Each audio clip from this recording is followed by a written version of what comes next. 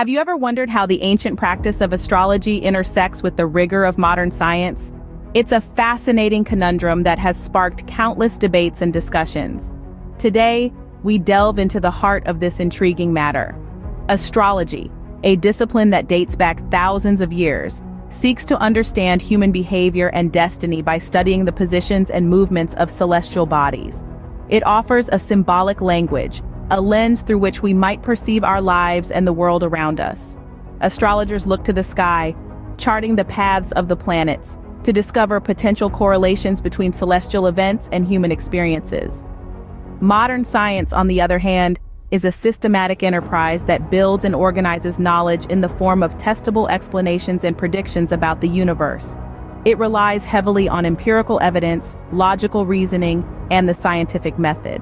Scientists observe, hypothesize, test, and conclude, always seeking to understand the mechanisms that drive our world. While astrology and modern science may seem like polar opposites, they share a common root. A profound curiosity about the universe and our place within it. Both fields aim to explain the world around us, albeit through different methodologies. Astrology employs a more intuitive, interpretative approach, focusing on symbolism and synchronicity. It values subjective experience and individual interpretation, often providing comfort and guidance to individuals seeking answers. Modern science, however, prioritizes objectivity, repeatability, and empirical evidence. It's a field that values skepticism and scrutiny, constantly testing and refining theories in pursuit of truth. Despite their differences, astrology and modern science can coexist, each offering a unique perspective on the universe.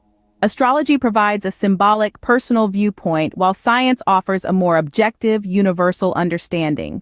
Yet, it's important to remember that astrology is not a science in the traditional sense.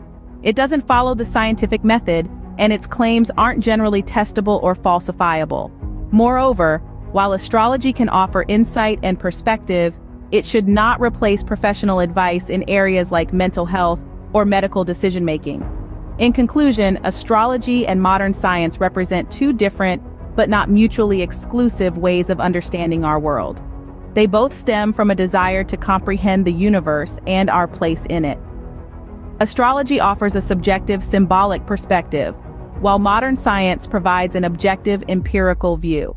While they differ in methodology and scope, each has its place in the tapestry of human knowledge.